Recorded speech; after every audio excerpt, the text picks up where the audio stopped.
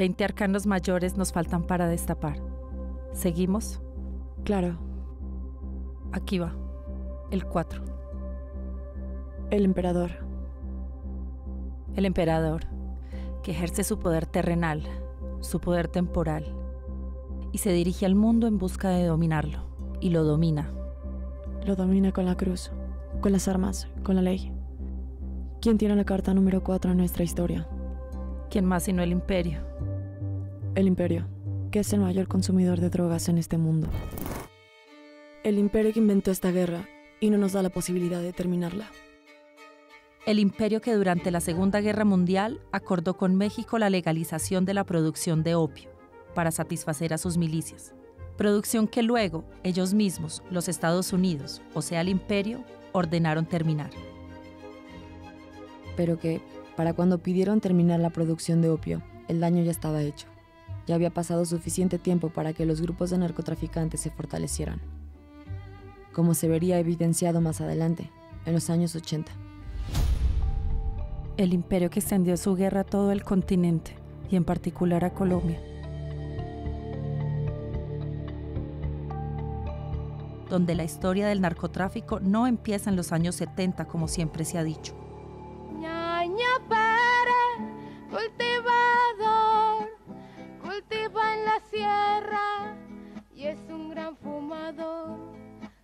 Que no importa es dónde se fuma, ni dónde se vende, sino dónde se siembra.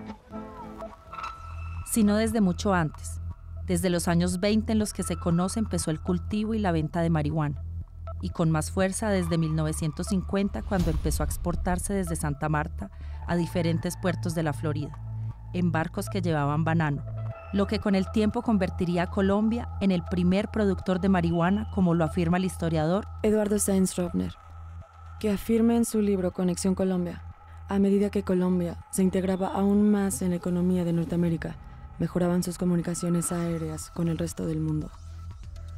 Se urbanizaba rápidamente e incorporaba a capas sociales más amplias. El narcotráfico y el crimen se convertía en un medio perverso, de movilidad económica y social, y que fue así cuando comenzó la llamada Bonanza Marimbera, para abastecer a los Estados Unidos con la siempre estrecha colaboración y alianza con México. el imperio, el emperador, que parado sobre su realidad lleva en las manos la cruz sobre el mundo. Se aprovecha de esta y usa la ley para promover la guerra. Como lo hizo en 1971, el presidente de los Estados Unidos, Richard Nixon, que declaró la guerra contra las drogas, en una política que supuestamente buscaba combatir la compraventa de sustancias ilegales y que tenía como uno de los objetivos a México, donde se había consolidado el contrabando de hierba y derivados del opio en la frontera sur.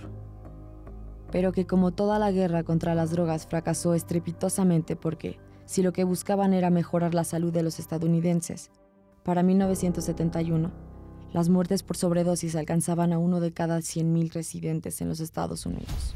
America's public enemy number one in the United States is drug abuse. In order to fight and defeat this enemy, it is necessary to wage a new all out offensive.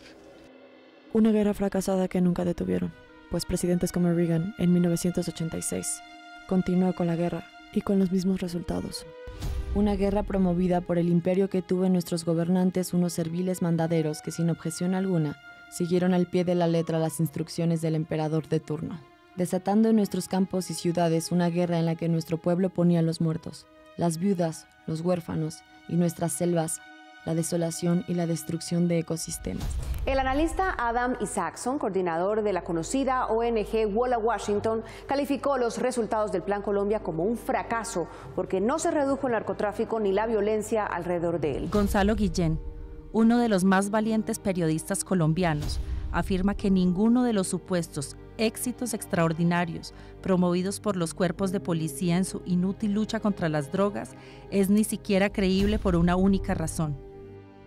No afectan en nada la distribución, la venta y la rentabilidad del producto en los mercados internacionales, en los cuales la calidad y los precios se mantienen estables debido a la copiosa oferta. El más simple examen de este mercado indica con claridad cómo la guerra contra las drogas es, después de tantos muertos y de tanta corrupción, un fracaso estrepitoso y definitivo. La guerra contra las drogas la ganaron las drogas. A finales de los 90, se negoció un acuerdo bilateral entre Colombia y Estados Unidos, llamado Plan Colombia. Este Plan Colombia se replicó en México a través de la iniciativa Mérida, es decir, se implementaron estrategias de seguridad similares en ambos países e incluso el gobierno mexicano pagó al exmandatario colombiano Uribe Vélez por asesorías en seguridad. Pero una cosa fueron los propósitos y otro los resultados, pues a pesar de los enormes recursos invertidos, estos no fueron exitosos y lo único que se evidencia en cifras públicas e informes de distintas organizaciones es el daño que en el tejido social de ambos países dejaron estos programas.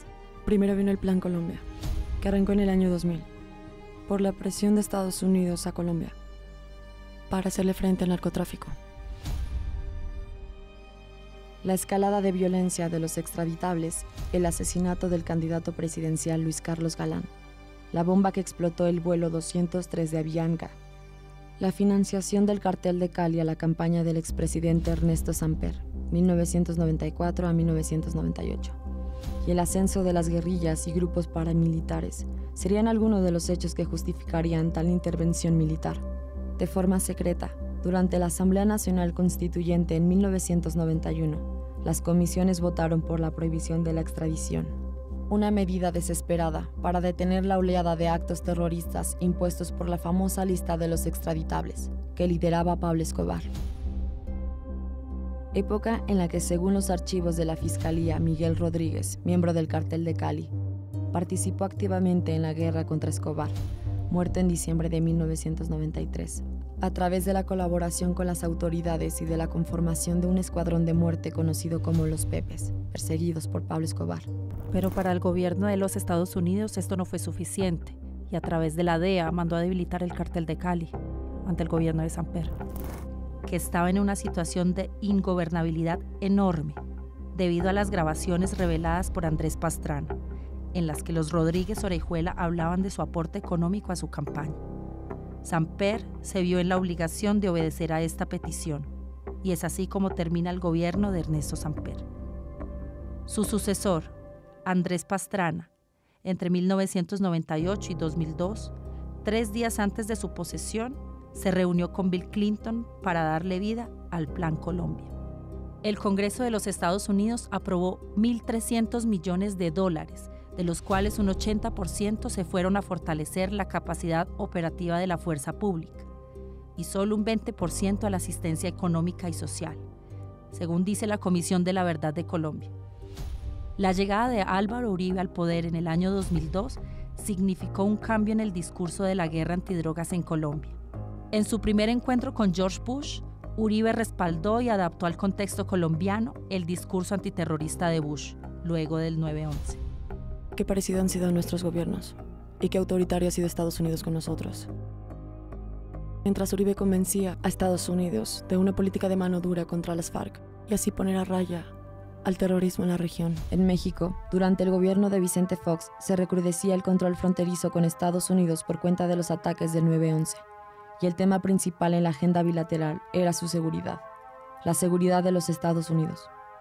Esta guerra contra el narco en conjunto con Estados Unidos, que arranca con el Plan Cóndor el 30 de septiembre del año de 1976, en los estados de Chihuahua, Sinaloa y Durango, desde 1990 tiene a México en una trayectoria de violencia interminable.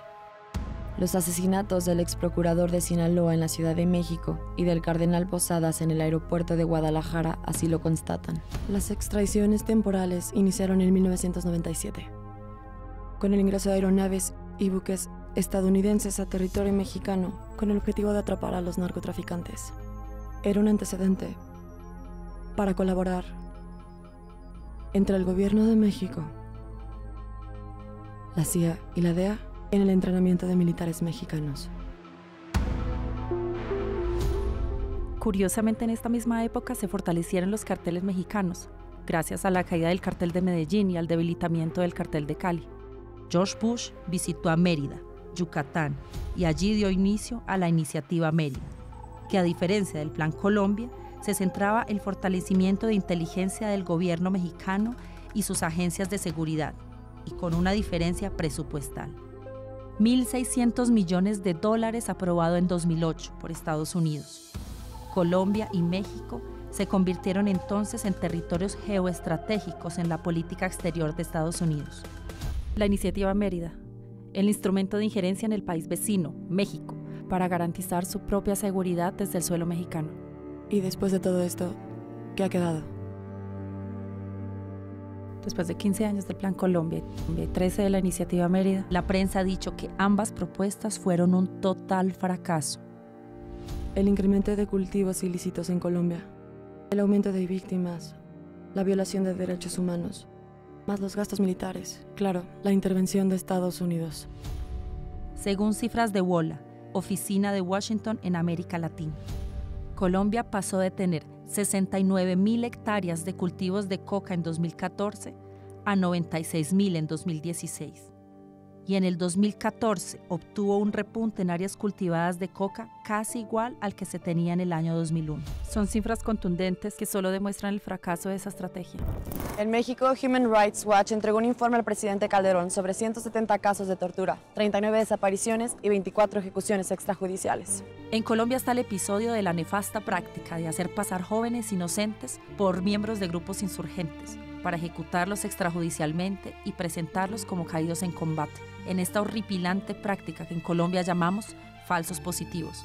6.402 jóvenes pobres que fueron atraídos por la promesa de un trabajo. 6.402 jóvenes asesinados a sangre fría para cobrar recompensas y para mostrar resultados del gobierno de la seguridad democrática.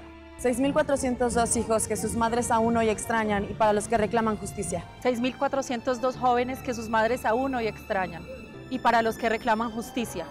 6.402 víctimas asesinadas por el ejército durante el periodo comprendido entre el 2002 y 2008, o sea, durante el primero y segundo mandato de Álvaro Uribe Vélez, a las que se suman 7,8 millones de personas que aparecen registradas en la unidad de víctimas del gobierno de Colombia. Priorizaron el gasto militar sobre otras prioridades de la población permitieron la entrada a servicios privados estadounidenses en materia de seguridad y antinarcóticos. Y a pesar de todo esto, siguen siendo impunes los espurios. La guerra contra las drogas se ha enfocado en erradicar cultivos, capturar líderes o capos de los cárteles, desmantelar organizaciones criminales y decomisar drogas. Sin embargo, los resultados de esas acciones han sido limitados y la estrategia general fue un fracaso. Y por si fuera poco, durante el gobierno de Felipe Calderón y su guerra ficticia contra las drogas, los asesinatos se triplicaron.